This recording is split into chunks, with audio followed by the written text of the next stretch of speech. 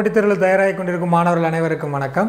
Welcome to TAF IAS academy so நம்ம டேஃப் IAS அகாடமியில் upcoming JDO twenty twenty சிக்ஸுக்கான Karikalan offline பேட்சுக்கான ஸ்டார்ட் அப் வீடியோஸை ஒன் பை ஒன்றா பார்த்துட்ருக்கோம் ஸோ எப்பவும் போல் கரிகாலன் பேட்சை பற்றின டீட்டெயில் பார்த்துட்டு அகைன் நம்மளுடைய ஸ்டார்ட் அப் வீடியோக்கு போகலாம் ஸோ ஃபஸ்ட்டு பார்த்தீங்க அப்படின்னா இந்த பேட்சை பொறுத்த வரைக்கும் ஃபுல் அண்ட் ஃபுல் வந்து உங்களுக்கு offline classes so eight to nine month course இது வந்து. ஸோ இதில் பார்த்தீங்க அப்படின்னா நம்மளுடைய தென்காசியில் மட்டும்தான் இந்த ஆஃப்லைன் கிளாஸஸ் வந்து நம்ம கண்டக்ட் பண்ணுறோம் ஸோ இது ஆல்ரெடி நம்ம சொல்லியிருப்போம்.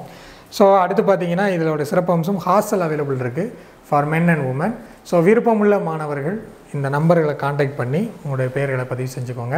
வரக்கூடிய அக்டோபர் ஐந்து முதல் இதற்கான வகுப்புகள் தொடங்க இருக்குது. ஸோ டேஃபுடன் கை கூறுங்கள் வெற்றியை பரிசாக பெறுங்கள். ஸோ இது சொல்லிவிட்டு நம்ம நேராக ஸ்டார்ட் அப் வீடியோக்குள்ளே போகலாம் ஓகே ஸோ இப்போ ஸ்டார்ட் அப் வீடியோவில் நம்ம ஆல்ரெடி என்ன பண்ணோம் அப்படின்னா சென்ட்ராய்டை பற்றி பார்த்தோம். சென்ட்ராய்டு சென்டர் ஆஃப் கிராவிட்டியை பற்றி பார்த்தோம். ஸோ அதில் ஜஸ்ட் லைக் நான் ட்ரையாங்கிளோட உங்களுக்கு வந்து லாஸ்ட் கிளாஸஸில் நிப்பாட்டியிருப்பேன். ஓகேவா? ஸோ இப்போ என்ன பண்ண போகிறோன்னா அதே ட்ரையாங்கிளில் நம்ம ஸ்டார்ட் பண்ணுவோம். சரியா? ஸோ ட்ரையாங்கிள் ஓகேவா? ஸோ ட்ரையாங்கிள் நான் உங்கள்கிட்ட என்ன சொன்னேன்? முதல்ல வந்து ரீகால் பண்ணுவோம். சென்ட்ராய்டுனா என்ன சென்டர் ஆஃப் கிராவிட்டினா என்ன? ஸோ சென்ட்ராய்டு அப்படிங்கிறது ஒரு வெயிட்லெஸ் லாமினா அதுக்கு எந்த விதமான வெயிட்டும் இருக்காது. அது கிராவிட்டியை கேரி பண்ணாது. கே கிராவிட்டிக்கு அதுக்கு சம்மந்தம் கிடையாது. ஒரு ஜியாமெட்ரிக்கல் ஃபிகர்ஸ் முடிஞ்சு போச்சு. சென்ட்ரா கிராவிட்டினா என்ன? அது வந்து ஒரு solid figures or physical body so அதுக்கு வந்து கிராவிட்டி இருக்கும் வெயிட் இருக்கும். ஸோ எல்லாமே இருக்கும். கிராவிட்டியால் அது ஈர்க்கப்படும் அதனுடைய மையத்தில் இருந்து ஸோ இந்த மாதிரி ஒவ்வொரு விஷயமும் வந்து நம்ம என்ன செய்யணும்? ஒன் பை ஒன்னாக ஒன் பை ஒன்னாக பார்த்துட்டே இருக்கும். ஸோ இதான் பேசிக்கான அந்த ரெண்டு டிஃப்ரென்ஸ் மேஜர் டிஃப்ரென்ஸ் ஒன்று ஜாமெட்ரிக்கல் இன்னொருத்த வந்து என்ன ஃபிசிக்கல் பாடி அவ்வளோதான் முடிஞ்சு போச்சு. இப்போது அதில் ஒன் பை ஒன்று நம்ம வந்துருந்துச்சுன்னா எக்ஸ் ஆக்சிஸ் பார்த்தோம் ஒய் ஆக்சிஸ் பார்த்தோம். ஸோ நிறைய காம்போசைட்ஸ் மெம்பர்ஸ் மாதிரி ஐ திங்க் அடுத்தடுத்த ஒரே ஈக்குவேட்லாம் உள்ள மெம்பர்ஸை ஒன் பை ஒன்னாக ஆட் பண்ணிங்கன்னா அதில் எக்ஸ் பார் ஒய் பார் நீங்கள் எப்படி கண்டுபிடிக்கணும் அப்படிங்கிறதையும் நம்ம வந்து பார்த்தோம். சரியா? ஸோ ட்ரையாங்கிள் பார்ப்போம். ட்ரையாங்கிள் பார்த்துட்டு இன்னொரு கான்செப்ட் இருக்குது அதையும் நம்ம சேர்த்து பார்க்கலாம். ஓகேவா சரியா? ஸோ ட்ரையாங்கிள் ஸோ ட்ரையாங்கிளில் நேற்று வரைஞ்சோம் இல்லையா? ஒரு கிராஃபு எப்பவும் போல் எக்ஸ் ஆக்சிஸ் ஓங்கிற ஆர்ஜின் ஒய் ஆக்சிஸ் ஓகேவா ஸோ கிராஃபு ஸோ அந்த கிராஃபில் என்ன உட்காருது ஒரு ட்ரையாங்கிள் உட்கார போகுது. சரியா?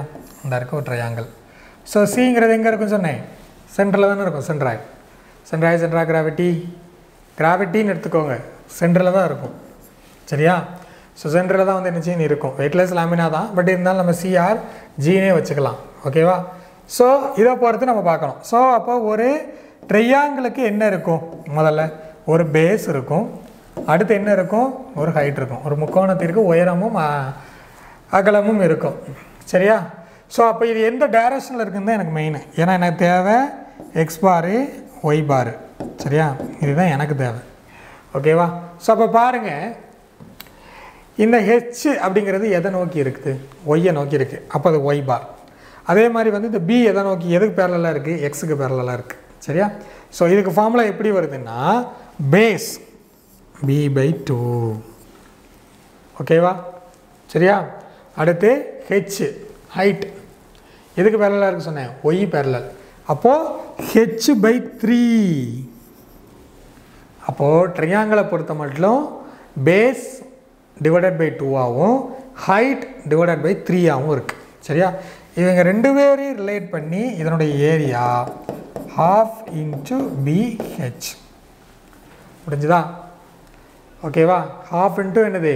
பிஹெச் ஓகேவா ஸோ இதுதான். சிம்பிள் இதில் ஒன்றும் கஷ்டப்படுற அளவுக்குலாம் ஒன்றும் கிடையாது. ஓகேவா அடுத்து ரைட் ஆங்கிள் ட்ரையாங்கிள் அடுத்து வந்து என்னது? Right angle triangle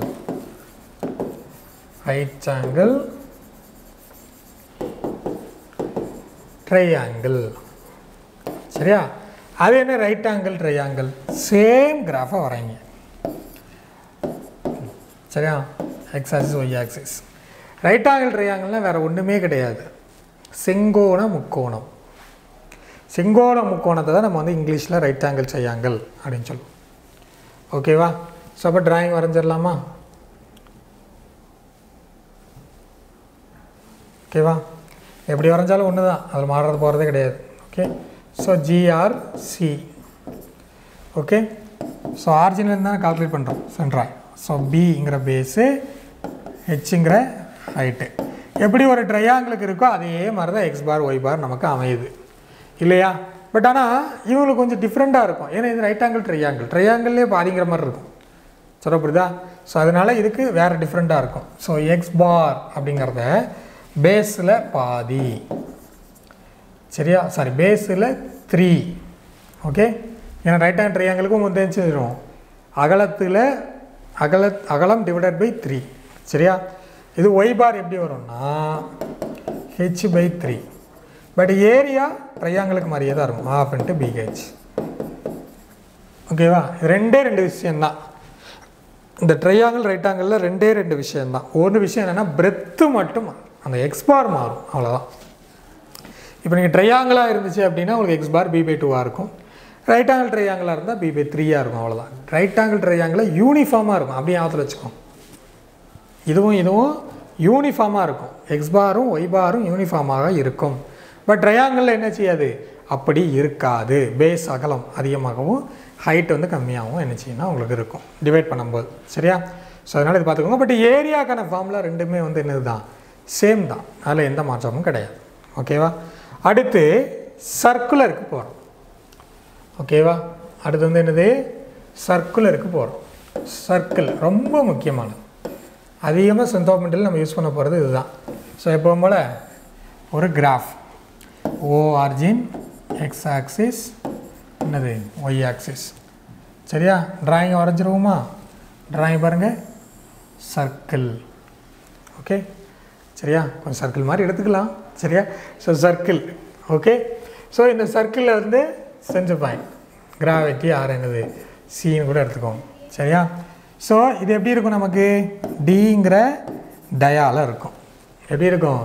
டிங்கிற டயாமீட்டரில் நமக்கு இருக்கும். மேலே வெட்டினாலும் டயாமீட்டர் தான் கீழே வெட்டினாலும் டயாமீட்டர் தான். சைடில் எங்கிட்ட வெட்டினாலும் டயாமீட்டர் டி தான். சரியா? அதில் எந்த மாற்றமும் இல்லை. அப்போ இதுக்கு எக்ஸ் பார் எப்படி வரும்?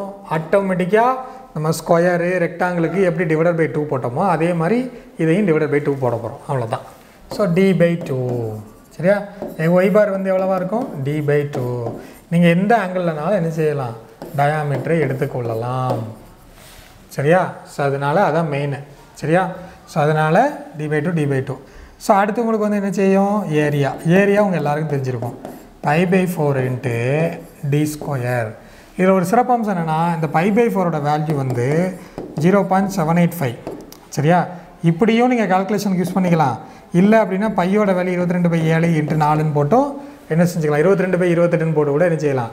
செய்யலாம். ஸோ அதனால் இப்படியும் வச்சுக்கலாம் இப்படி வச்சுக்கலாம். அது உங்களுக்கு கன்வீனியண்ட்டை பார்த்து மாற்றிக்கலாம் ஓகேவா ஸோ அதனால் இது சர்க்குலருக்கு ஓகேவா அடுத்து செமி சர்க்கிள் அடுத்து வந்து என்ன பார்க்க போகிறோம் செமி சர்க்கிள் சரியா? செமி சர்க்கிள் சரியா? ஸோ செமி சர்க்கிள் எப்போவும் போல் graph X axis Y axis ஓங்கிற origin so எப்போவும் போல் என்ன செய்ய வேண்டியதான் அரை வட்டத்தை கிராஃபில் உட்கார வைங்க. டிங்கிற டயாவில் இருக்கும். ஓகே ஸோ இந்த பாட்டு தான் என்ன செய்யும் உங்களுக்கு? ஆறுங்கிற ரேடியஸில் இருக்கும். இதில் நிறைய டவுட் வரும். சரிங்களா? ஸோ இன்க்ளூடிங் இப்போ போயிட்டுருக்க ராஜராஜ சோழன் உள்ள ஸ்டூடெண்ட்ஸ் கூட கேட்கக்கூடிய கேள்வி இதுதான். சார் இது எப்படி சார் ஆறு வரும்? இங்கே டி வருது? அங்கே எப்படி சார் ஆறு வரும்? ஒரு வட்டத்தை வெட்டுறீங்க அப்படி தானே ஒரு வட்டத்தை வெட்டுறீங்க. வெட்டும்போது குறுக்க என்ன வந்துடும் பேஸு டயாமீட்டரில் போயிடும் மேலே பார்த்தோம் இல்லையா? இதை வச்சு சொல்லலாம். இந்த இருக்குல்ல? இந்த டயாமீட்டர் வந்துடும் சரியா? அப்போ மற்ற பகுதிகள் உங்களுக்கு ரேடியஸில் தானே இருக்கும். இல்லையா? மற்ற பகுதி இந்த வளைவுங்கிறது உங்களுக்கு என்னவாக இருக்கும்? ரேடியஸில் தான் இருக்கும். சரியா? அதனால் ரேடியஸ். ஓகே? இப்போ இது ஈஸியாக சொல்லிடலாம். இங்கே தான் ஒரு டிஸ்ட் வைக்கிறாங்க. எக்ஸ் பாருக்கும் ஒய் பாருக்கும் சரியா? ஓகேவா? ரெண்டு பயிலும் ஆப்போசிட் ஆப்போசிட்டு டயாமீட்டர் வேற ஆள் ரேடியஸ் வேற ஆள். சரியா? ஓகேவா? இப்போ கவன கவனிக்கலாமா? பாருங்கள் ஸோ எக்ஸுக்கு பேரில் யார் இருக்கா? டயாமீட்டர் அப்போது டி பை டூ ஓகேவா? முடிஞ்சு போச்சு. ஓகே? இப்போ அடுத்து பாருங்கள் ஒய் பார் ஒய் பாருக்கு என்ன இருக்குது ரேடியஸ் ஆர் இருக்குது அப்போ ஆர் பை டூவான்னா கிடையாது. Four R by three by four R by three by full radius அது கிடையாது. ஸோ அதனால் four R by three by so கொடுத்துருக்கிற சர்க்கிளும் ஹாஃப் சர்க்கிள் சரியா? ஐ மீன் செமி சர்க்கிள் ஓகேவா ஸோ இதையே எப்படி எழுதலாம்னு சொல்கிறாங்கன்னா zero point four two four R அப்படின்னு எழுதலாம். இதை நீங்கள் ஒன்று வகுத்துட்டிங்கன்னா இந்த ஆன்சர் கிடைக்கும் அவ்வளோதான் வேறு ஒன்றும் கிடையாது. இப்படியே என்ன செய்யலாம்? எழுதலாம் அப்படின்னு சொல்லி சொல்கிறாங்க ஓகேவா ஸோ அதனால் ரொம்ப முக்கியமானது இதுதான். சரியா? ஓகே ஸோ இப்போ பாருங்கள் அப்போ என்னென்ன பார்த்தோம்? முதல்ல இருந்துருமா ட்ரையாங்கிள் ஸோ அடுத்து வந்து என்ன செஞ்சோம்? ரைட் ஆங்கிள் ட்ரையாங்கிள் செங்கோண முக்கோணம். அடுத்து என்ன பார்த்தோம்? சர்க்கிள் ஸோ சர்க்கிளில் வந்து என்ன செஞ்சோம் அப்படின்னா எப்படி டயாமீட்டர்லேருந்து எப்படி எடுத்துக்கிறாங்க? எக்ஸ் பார் ஒய் பார்னு பார்த்தோம். அடுத்து வந்து என்னது? செமி சர்க்கிள் ஸோ செமி சர்க்கிள்ங்கிறது ஹாஃப் சர்க்கிள்னு சொன்னோம். அதிலேருந்து எப்படி எடுக்கிறாங்க அப்படிங்கிறத என்ன செஞ்சுக்கிட்டோம்? பார்த்துக்கிட்டோம். முடிஞ்சு போச்சு. ஓகேவா இப்போ அடுத்து வந்து என்னது அப்படின்னா குவாட்ரண்ட் கா கால்வட்டம் சரியா? ஸோ இதில் லாஸாக ஒன்று நான் தரேன். சரியா? ஸோ குவாட்ரண்ட் சரியா? கால்வட்டம் ஸோ அதே கிராஃபு ஓங்கிற ஆக்சிஸு எக்ஸுங்கிற அச்சு ஒய்யுங்கிற அச்சு. சரியா? ஸோ எப்பவும் போல தான் கால்வட்டம்னா எப்படி இருக்கும் நமக்கு? இப்படி தானே இருக்கும் ஓகேவா ஸோ சிஆர்ஜி இது உங்களுக்கு என்னத்தில் இருக்கும்? ஆறுங்கிற ரேடியஸில் இருக்கும். இதுவும் எண்ணத்தில் தான் இருக்கும். ஆறில் தான் இருக்கும். அது கேட்கலாம் ஏன் சார் ஆறில் இருக்குது அப்படின்னா டயாமீட்ரு அதில் பாதி. இது ஃபுல்லாக டயா அப்போ டி பை டூன்னு வருது. அப்போ அது ஆறாக மாறிடும். இதிலிருந்து தான் கால்வட்டம் நம்ம ஸ்டார்ட் ஆகும். அப்போ ஆறு ஓகேவா ஸோ ஃபுல்லாக எடுத்துக்கிட்டால் டயாமீட்ரு டி அதில் பாதி தான் நம்ம கால்வட்டம் அரை வட்டத்தில் பாதி கால்வட்டம் அப்படிங்கையில் இந்த டோட்டல் டயாமீட்டரில் பாதி. ரேடியஸ் ஓகேவா? ஸோ அதனால தான் ஆர்ஆர் அப்படின்னு சொல்லி நம்ம என்ன செஞ்சுக்கிறோம்? எடுத்திருக்கோம். ஓகேவா? அப்போ இதுக்கு எக்ஸ் பார் கண்டுபிடிக்கிறது எப்படி சார் அப்படின்னா ரொம்ப easy same concept X bar Y bar இங்கே ரேடியஸ் வச்சு நம்ம என்ன கண்டுபிடிச்சோம்? ஞாபகம் இருக்கா? Four R by three by அதே கான்செப்ட் தான் அங்கே வரப்போகுது. சரியா? ஆ இதில் இன்னொரு விஷயத்தையும் விட்டுட்டேன். ஏரியா ஏரியா சிம்பிள் அரை வட்டத்துக்கு அரை போட்டுக்கோங்க. எப்பவும் போல் வட்டத்தினுடைய சூத்திரம் போட்டுக்கோங்க. Pi by four into D square substitute பண்ணால் வேலை ஏரியான்னு முடிஞ்சு போச்சு. அவ்வளோதான் ஃபார்முலா ஓகேவா அடுத்து இதே இதுக்கு வாங்க? கால்வட்டம். கால்வட்டத்தில் எக்ஸ் பார் எக்ஸ் பார் எவ்வளவு அப்படின்னா அங்குள்ள அதே மாதிரி தான் four R by three by four R by three by அது ஏன் sir யூனிஃபார்மாக four R by three by four R by three by வருது? அப்படின்னா ரெண்டு பக்கமும் ஈக்குவலாக ரேடியஸ் தான் கொடுத்துருக்கோம். ஸோ அதனால் ரெண்டுக்குமே ஒரே ஆக்ஸ் ஆக்சிஸ்லேயும் ஒரே மாதிரி தான் வரும். சரியா? ஸோ இதை தான் நான் உங்களுக்கு சிம்பிளிஃபை பண்ணேன். Zero point zero sorry zero point four two four R அப்படின்னு சொன்னேன். அதனால் அதை கொஞ்சம் செக் பண்ணிக்கோங்க. ஓகேவா சரியா? ஸோ அதனால் அதை செக் பண்ணிக்கோங்க. அடுத்து வந்து பார்த்திங்க அப்படின்னா இதனுடைய ஏரியா இதனுடைய ஏரியா என்னதுன்னா ஒன் பை ஃபோர் ஏன்னா கால்வட்டம் கால் பகுதி இன்ட்டு எப்போவும் போல் ஏரியாவோட சர்க்கிளோட டயமீட்டர் சப்ஸ்டியூட் பண்ணால் முடிஞ்சு ஓகேவா ஸோ இதுதான் வந்து என்னதுன்னா நம்ம சென்ட்ராய்டு பார்த்தீங்கன்னா பேசிக்ஸுக்கான டெஃபினேஷன்ஸ் அண்ட் அதிலேருந்து கேட்கக்கூடிய கேள்விகள். ரொம்ப ஈஸி இது வந்து நீங்கள் கஷ்டப்படுற அளவுக்குலாம் ஒன்றுமே கிடையாது. நான் திருப்பி திருப்பி சொல்கிறேன் டவுட் வருதா? ஒரு கிராஃபை போட்டுறணும். அந்த கிராஃபில் அந்த செக்ஷனை உட்கார வச்சு பார்த்துடணும் அவ்வளோதான் அந்த பிளான் ஐ மீன் அந்த ஃபிகர்ஸ் அந்த ஜாமெட்ரி ஃபிகரை அதில் உட்கார வச்சு பார்த்துருங்க. உட்கார வச்சு பார்த்துட்டிங்க அப்படின்னா உங்களுக்கு ஈஸியாக நெஞ்சிடும் அண்டர்ஸ்டாண்ட் ஆகிடும் எக்ஸ் ஆக்சிஸில் யார் வருவா? ஒய் ஆக்சிஸில் யார் வருவா? இந்த மேட்ரு மட்டும் தெரிஞ்சால் போதும். சரியா? அப்புறம் இந்த சின்ன சின்ன விஷயங்கள். இந்த ஃபோர் ஆர் பை த்ரீ பைங்கிற கான்செப்ட் இது கொஞ்சம் தெரிஞ்சால் போதும். மற்றபடிலாம் வர முடியாது. ரேடியஸில் இருந்தால் four R pi three pi டயாமீட்டரில் இருந்தால் டி பை டூ அப்படிங்கிற விஷயம் உங்களுக்கு தெரிஞ்சால் போதுமானது. ரொம்ப சிம்பிளாக இணைஞ்சிடலாம் அப்படின்னா ஆன்சர் பண்ணிடலாம் ஓகேவா ஸோ இதை மெயினாக பார்த்துக்கோங்க. ஸோ உங்களுக்கு சின்ன ஹோம்ஒர்க் ஒன்று தரேன். சரியா? ஸோ கமெண்ட் செக்ஷனில் அதை வந்து நீங்கள் நினச்சிங்க அப்படின்னா சப்ஸ்டியூட் பண்ணுங்கள் சரியா? ஸோ ஹோம்ஒர்க் வந்து என்னென்னா